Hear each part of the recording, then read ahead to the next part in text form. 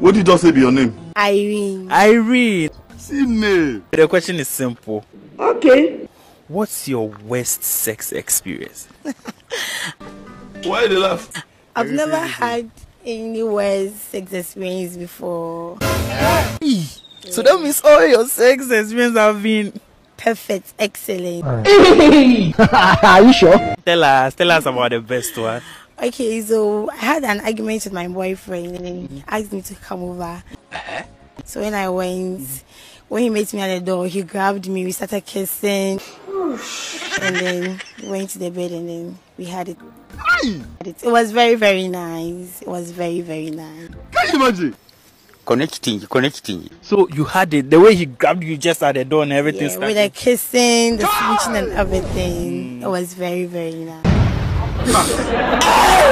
And during that this thing, you know, what was that one thing you will never forget? In fact, he turned my ass, ah! gave him some nice doggy, and then it went straight in it. Yeah, it Into your womb. Yes. it really hit my heart. Hey, Abigail. That's what I do for you. They are all parts of life. La true, la true, madam. Would you say that's the best one since you started doing it? Eh?